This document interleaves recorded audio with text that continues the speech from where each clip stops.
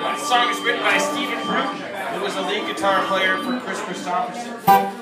And uh, he wrote a bunch of music for a movie that would be called Crazy Hearts. And then unfortunately died of cancer before he could kind of see his success. Although uh, the, the song was covered by uh, Ryan Bingham on the soundtrack. And we played this song out in the suburbs. And in the tip jar, um, someone left a $20 bill. And in uh, Sharpie, it was written, Love Heather Bingham. Really? On it. How about that? So uh, we have a fan. So. I don't know, baby, where is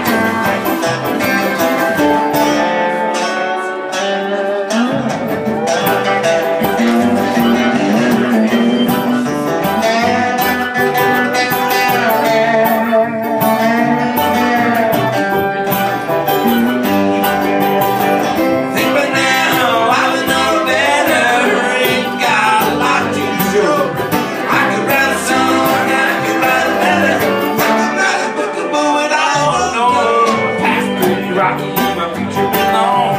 Why do I think